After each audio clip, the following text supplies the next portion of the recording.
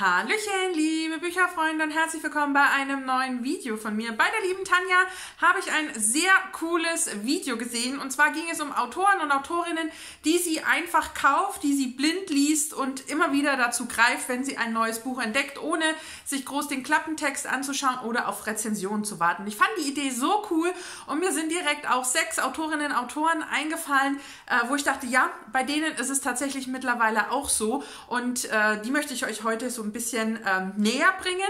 Ich packe das Video unten von Tanja in die Infobox. Schaut gerne mal bei ihr vorbei, besonders wenn ihr so in der Romance-Genre ähm, unterwegs seid, seid ihr da bestens aufgehoben. Zudem hat sie eine ganz erfrischende Art, über Bücher zu sprechen und ich äh, schaue ihre Videos super, super gerne. Grüße gehen raus an dich, liebe Tanja. Vielen Dank für die Inspiration und jetzt kommen wir zu meinen sechs Autoren, die natürlich stellvertretend für ihre Bücher auch stehen.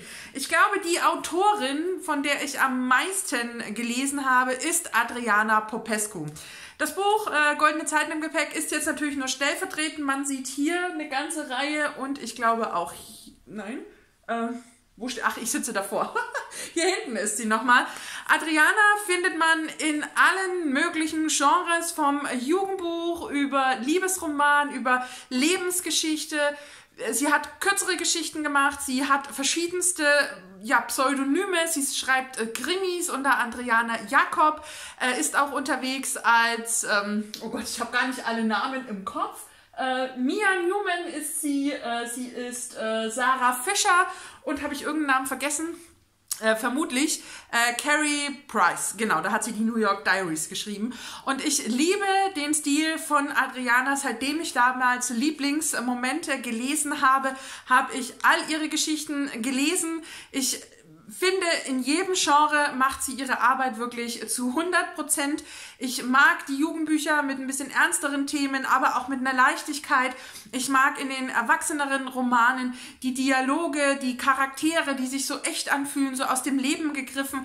Ich mag ihre Dynamik, gerade was dann Gruppen angeht oder natürlich auch, wenn zwei Leute äh, unterwegs sind. Und äh, ja, Goldene Zeiten im Gepäck ist einfach ein ganz besonderes Buch. Jetzt Ende äh, April ist auch äh, das neue Buch schon von ihr im Piper Verlag erschienen und jetzt ganz frisch äh, haben wir die Info auch bekommen, dass sie im Jugend-Urban Fantasy-Bereich unterwegs sein wird und da, ich glaube, im Oktober ein Buch erscheint. Also Adriana ist überall und das absolut zu Recht und das ist wirklich die Autorin, die ich mit am meisten gelesen habe.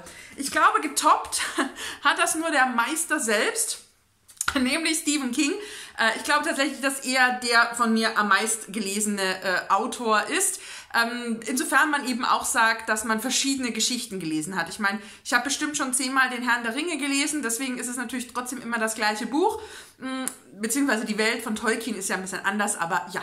Stephen King, ich glaube, ich muss zu ihm gar nichts äh, sagen, ist meiner absoluten Lieblingsautoren. In den verschiedensten Genres ist er unterwegs, vom klassischen Horror über Grusel, über Thriller, über auch einfach, ich sag mal so ein bisschen Science Fiction, Fantasy, was natürlich alles grob gefasst sehr ähnlich ist und ich, ich bin einfach ja, ein großer, großer Fan. Ich mag seine Charakterstudien, ich mag, wie er Menschen beobachtet, die vermeintlich normalen Menschen in Ausnahmesituationen, wie er es mal in irgendeinem Kurzgeschichtenband auch betitelt hat.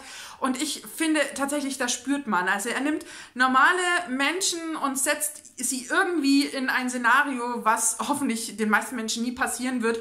Und er schafft das immer wunderbarst. Er hat einen sehr ausführlichen, bildhaften, vielleicht sogar überschwänglichen Stil. Also er neigt schon dazu, eher mehr zu erzählen, als sich kurz zu fassen. Aber ich liebe das sehr. In den meisten Fällen bin ich äh, davon wirklich begeistert, wenn ausführlichst erzählt wird, wenn ich mich einfühlen kann, wo ich bin, wenn ich das vor Augen habe, wenn ein Film abläuft und ähm, das kann für mich Stephen King wirklich par excellence. Und äh, mit seinen Kurzgeschichten habe ich immer mal so ein paar Probleme, weil sie, glaube ich, einfach zu kurz sind. Also das liegt an mir, aber vielleicht kann er nicht. Ja, äh, also, die, also die Kurzgeschichten. Und äh, auch Enden kann er tatsächlich manchmal leider nicht so. Es gibt so bei den ein oder anderen Buch so, wo ich denke, ah, das Ende ist so knapp am Ziel vorbei. Es gibt aber wirklich eine Handvoll Bücher, die ein grandioses Ende haben. Und ähm, ja, Green Mile, auch stellvertretend, ein ganz tolles Buch, gehört in meine Top 3. und ähm, darf jetzt deswegen in diesem Video nicht fehlen.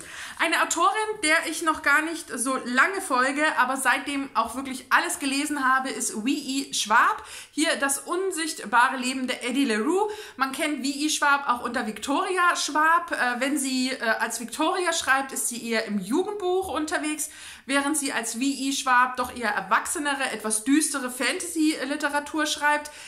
Die Grenze ist aber natürlich manchmal, also ja, na, warum sollte ich die erwachsenen Romane vom Alter, na, irgendwie passend ist, die Zielgruppe ist nicht auch ein Jugendbuch lesen, aber es gibt eben auch äh, ja, Bücher von ihr, die eben unter Victoria erscheinen, die dann eben doch eher so ein bisschen das Jugendliche abdecken. Und bei V.I. Schwab, bei Victoria Schwab, mag ich diese Düsternis, besonders zwischen den Zeilen und ich mag diese Wahnsinnsreichtum an Fantasie. Also egal, in welches Buch man greift, ob es wirklich jetzt die Fantasy-Reihe von ihr ist mit den vier Farben der Magie, ob es die Jugendbuchreihe ist, die ich sehr gerne gelesen habe, City of Bones, ob es der etwas ernstere Fantasy-Roman ist, der wirklich herausragend ist. Also ich habe heute noch, obwohl das Buch ja jetzt auch schon zwei Jahre ist, ich glaube, kam das vor zwei Jahren, 2021 tatsächlich.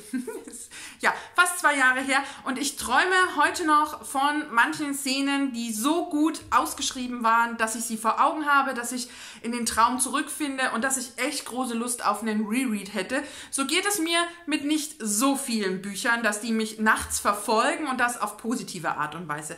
Victoria Schwab hat wirklich einen sehr bildhaften Stil. Sie schafft es wirklich Atmosphäre mit wenigen Worten zu kreieren. Sie muss nicht nicht zu viel erzählen und trotzdem fühlt man sich eingebunden. Ich mag die Ideen, die sie hat, wie sie sie umsetzt. Ich bin da wirklich sehr begeistert von. Ja, das sind Sam und Sunny. Ähm, ich bin da wirklich sehr begeistert, wie sie an Themen herangeht, wie sie diese Thematiken auch äh, verarbeitet und uns eben auch näher bringt. Also wirklich hier Eddie LaRue, eine junge Frau, die im Grunde dem Pakt mit dem Teufel eingeht, um dann eben äh, ja ewig zu leben, aber eben, dass sich keiner an sie erinnern kann und was das für ein Preis ist, den sie bezahlt. Und sie hat hier nicht nur das Historische gut dargestellt, auch diese ganze Fantasy-Richtung, in die es geht, die Fantastik und es, es war so lebendig. Ich fand das wirklich großartig. Und ich fand, bei allen Büchern, die ich von ihr gelesen habe, war ich sehr, sehr, sehr angetan und würde blind jeden V.I. Schwab lesen oder Victoria Schwab, den ich in die Hände bekomme. Aktuell habe ich auch Galant am Lesen, beziehungsweise, wenn ihr das Video seht, ähm, ja, ist der April schon rum, habe ich schon gelesen, äh, werde ich auf jeden Fall im Büchermonat drüber berichten und ich würde hier auch auf keinen Klappentext mich mehr äh, verlassen, sondern einfach direkt zum Buch greifen. Dann ein Autor, der es bereits mit zwei Büchern geschafft hat, mich zu begeistern. Und zwar ist das TJ Gloon, der mich mit beiden Büchern dermaßen gepackt hat, gefesselt hat, begeistert hat, unterhalten hat und wirklich äh, wahnsinnig spannende Themen auch mit aufnimmt und die wunderbarst ähm, beschreibt. Und ich freue mich so, so, so jetzt auf das dritte Buch von ihm was jetzt im April, Mai irgendwie erscheint. Und ich muss wirklich sagen, bei TJ Klun, ich will gar nicht wissen, wie ist der Klappentext. Ähm, ich, ich will einfach nur das Buch lesen. Und ich habe beide Bücher wirklich vorher sehr geliebt. Was ich nicht mag, äh, ist, dass das hier kein Aufkleber ist, sondern draufgedruckt. Das stört mich immer wieder, wenn ich es sehe.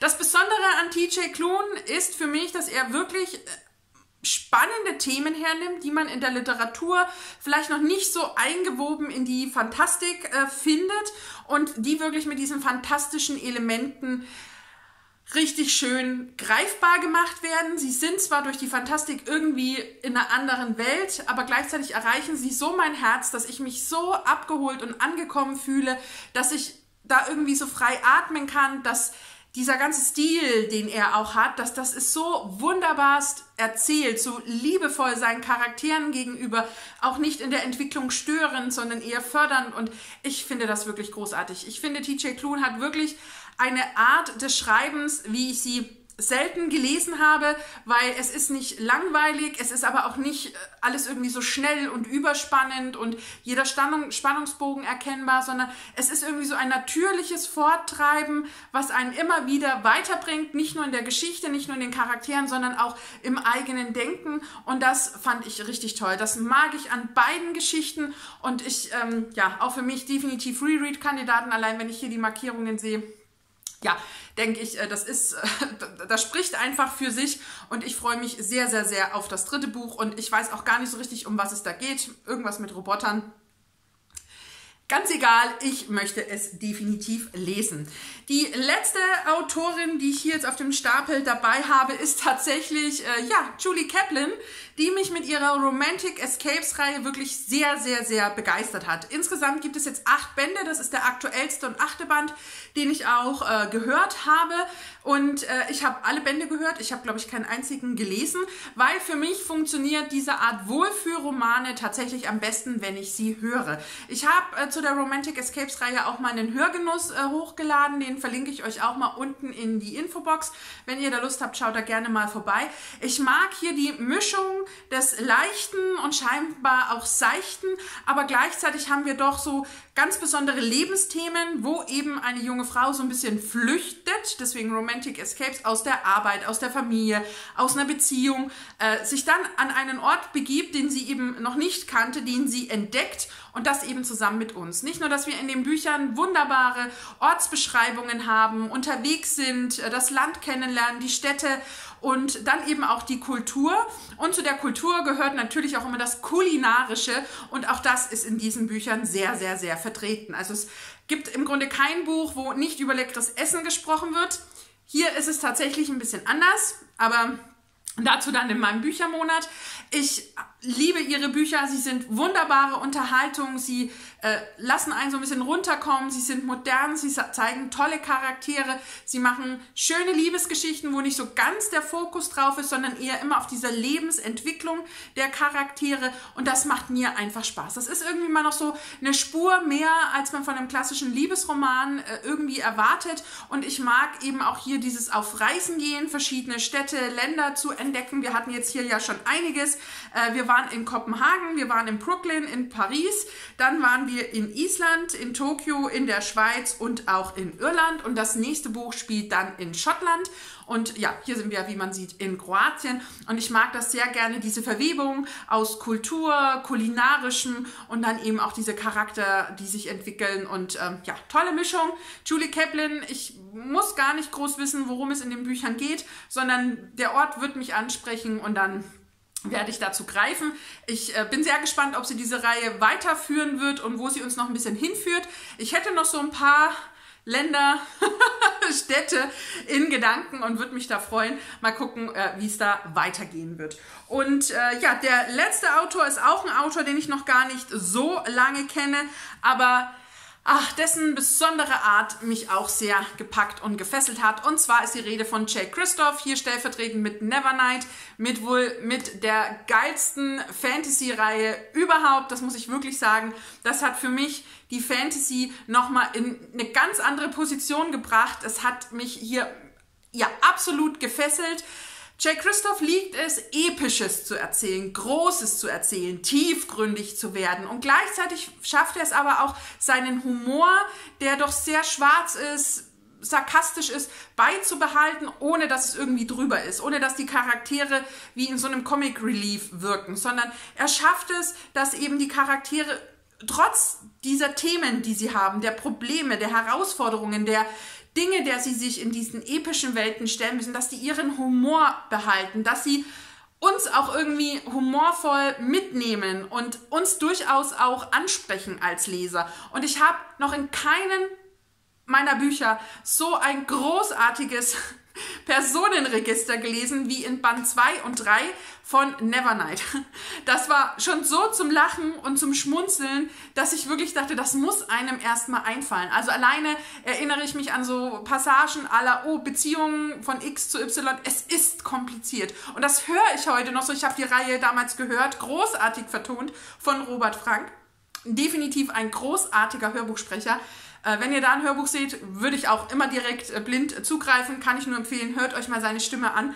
Und ich, ich liebe die Fantastik, die Jay Christoph schreibt. Das ist doch irgendwie mal was anderes. Natürlich nicht komplett das Rad neu erfunden, aber was er hier zum Beispiel mit Mia Kovare geschaffen hat, als Assassinin, äh, Assassinen in dieser Welt mit der Schattenkatze, das war so, so großartig. Ich höre heute noch Passagen die bei mir in Erinnerung geblieben sind, die ich vor mir sehe, wie ich mich da reingefühlt finde.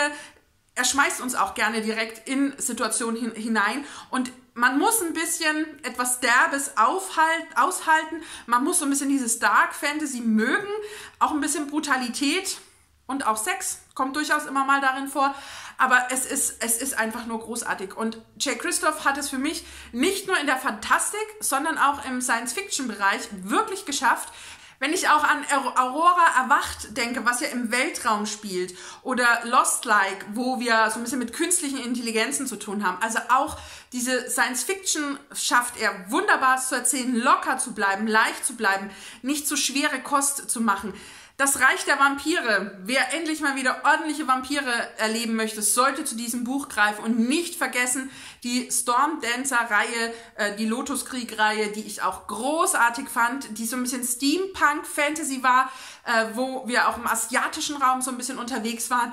Also ich liebe den Stil und ich werde alles lesen, was irgendwie von Jay Christoph kommt und bin sehr gespannt, was er noch zaubern wird. Und ähm, ja, auch Nevernight definitiv ein äh, Reread-Kandidat und als Hörbuch könnte man es vielleicht mal so zwischendurch einschieben. Ja, so, das waren sie jetzt, die acht Autoren und Autorinnen, äh, die ich blind kaufe, von denen ich am Ende nichts wissen möchte. Wenn ich mich so im Wohnzimmer umgucke, gehört vielleicht noch so der ein oder andere mit dazu. Ähm, wenn ich an den Harpe Kerkeling denke oder vielleicht auch an eine Leigh Bardugo, Vielleicht auch mal ein George R. Martin, wenn da mal irgendwas noch käme, könnte man drüber nachdenken. Aber ich glaube, so die genannten, äh, ja, das sind definitiv schon die, wo ich sage, gib mir einfach das Buch, ich will gar nicht wissen, um was es geht. Jetzt bin ich natürlich neugierig, ob einer von meinen Kandidaten auch bei euch dabei wäre oder ob ihr ganz andere auf eurer Liste habt. Schreibt mir das super gerne in die Kommentare, lasst uns in den Austausch gehen. Schaut unbedingt mal bei Tanja vorbei, ihr Video ist unten verlinkt. Und jetzt danke ich euch fürs Zusehen, wünsche euch noch einen schönen Tag, einen schönen Abend und bis zum nächsten Video. Macht's gut. Tschüss, eure Steffi.